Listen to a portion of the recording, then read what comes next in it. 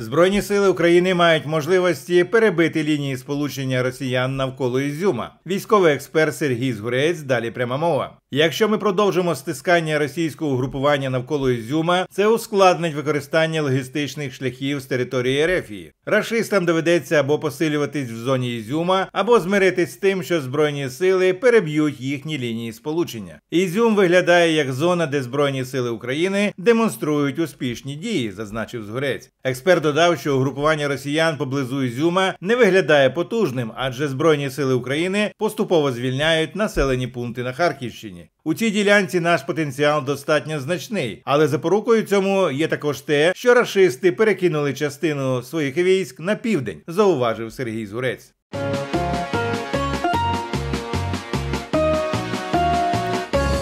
Да, Владимир Владимирович? Что угадать? В, чем вы сейчас удите? Ну вы проказник, конечно. Умеете. Нет, стоп, подожди.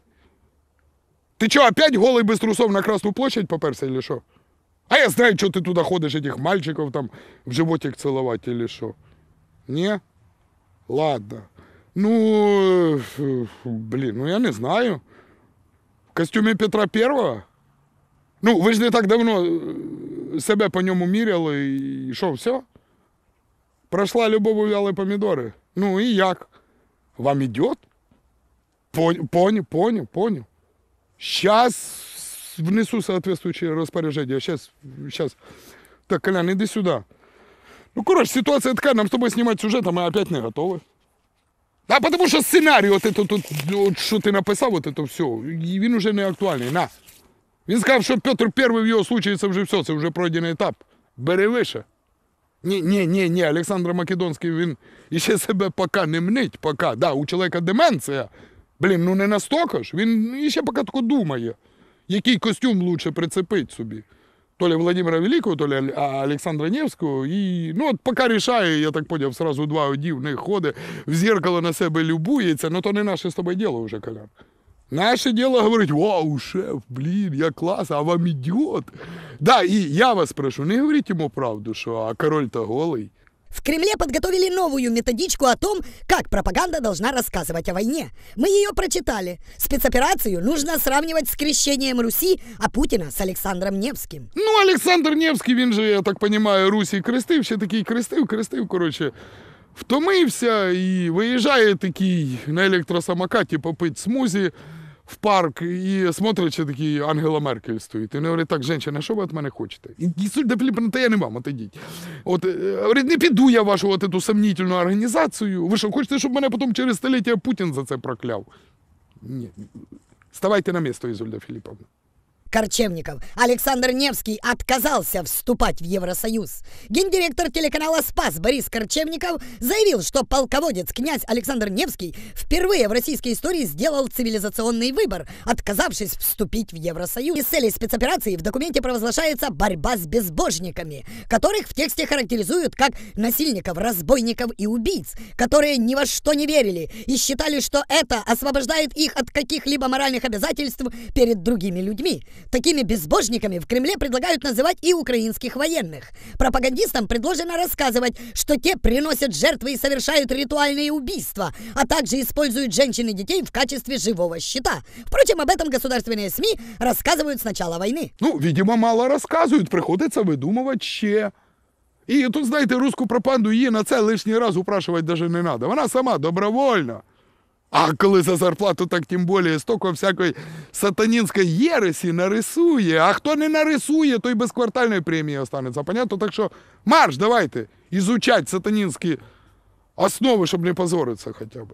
Козья морда, сатанизм и оккультизм стали идеологией украинских нацбатов. Следы исповедования украинскими нацбатами оккультизма и сатанизма начали находить не в 2022 году, а гораздо раньше. Простой пример коллективного безумия на Украине. Дошли до сатанизма и каннибализма, Медведев. Украинское общество бьет все рекорды. Показывает простой пример превращения людей в сатанистов и каннибалов, как выразился Андрей Медведев. Украинский латентный каннибализм – результат работы сектантов. Блогер Гурьянова заявила, что на Украине процветают сатанисты. О, о, оце у людей дисципліна, не то, що у вас сатаністів-канібалістів. Тут начальство ще розпорядження не успіло написати, а новості вже потоком хлинули. І якщо ви думаєте, волнуєте, що жителі цієї горі страни, вони що то там заподозрять, і що це все покажеться їм бредом, ага, щас. Не треба так думати про жителів цієї горі страни. Просто для начала загляньте в їхній інтелектуальний уровень. І не безпокойтесь.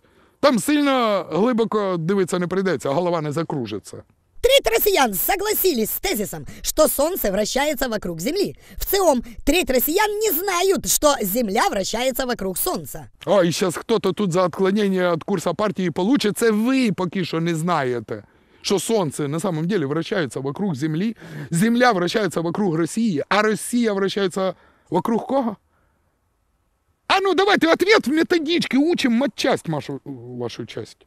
Затем в документе утверждается, как и крещение Руси, война в Украине закладывает государственные основы страны, а также основы развития России на столетия вперед. Авторы, они в документе не указаны, уверяют, что это происходит благодаря сплочению общества вокруг армии и стратегического курса президента. О, о, продолжаем логическую цепочку. Россия крутится вокруг армии, а армия крутится вокруг стратегического курса президента.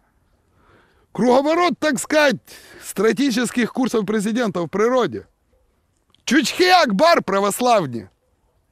Колян, я кажу, целое название для нового шоу на Первом канале придумав. Или, или что-то ще дурней надо.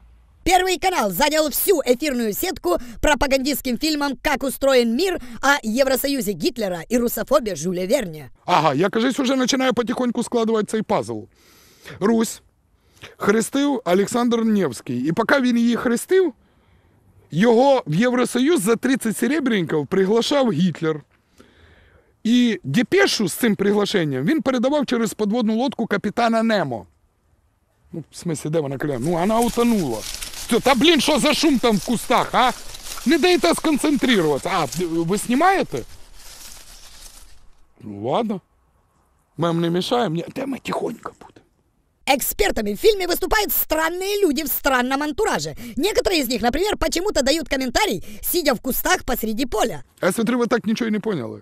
Ви не догадались, як подобні методички на Росії появляються? А отак і появляються. Виходить чоловік в поле. Колян, тільки далі, отойди, пожалуйста. Да. Находить там куст. Зайди за нього. Знімає штани. Знімаєте е, Ізольда Філіпповна це все? Делає своє діло, підтирається, а потім цю е, бумажку давай. Не, не надо. А потім її там передай на перший канал сразу. От її по ефірам розсилають, і винуждені люди, ну от це все потім оттуда транслюють, причому так, що навіть запах через екран чути. І це у них ще нормальне питання. А прикиньте, коли у них розстройство желудків почнеться, да?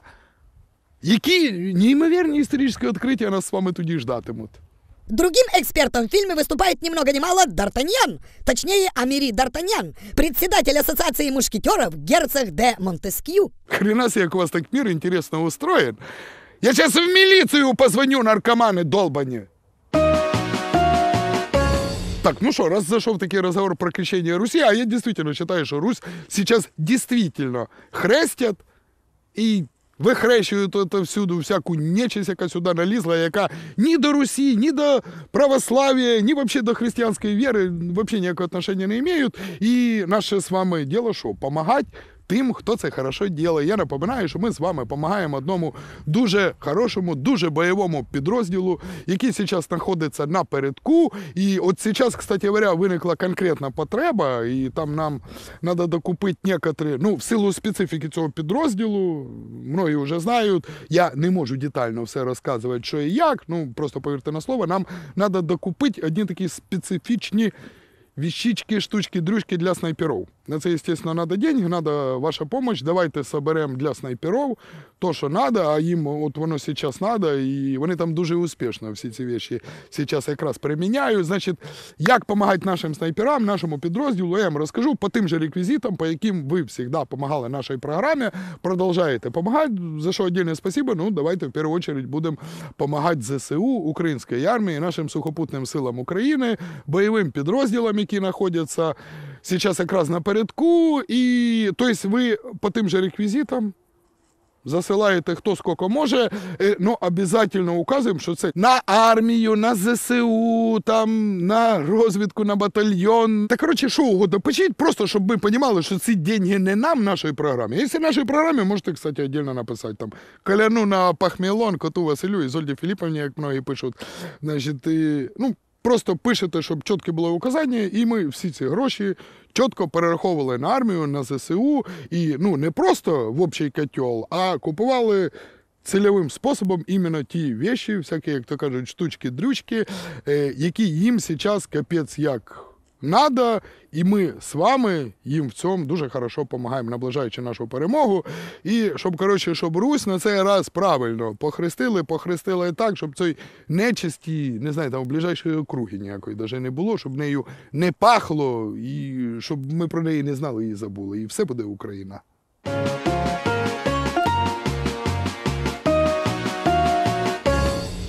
Підпишіться на канал і не пропускайте нові відео. Пишіть коментарі і діліться з друзями. Ми також будемо вдячні за підтримку нашої роботи на Patreon або інших зручних платформах. Реквізити в описі до відео.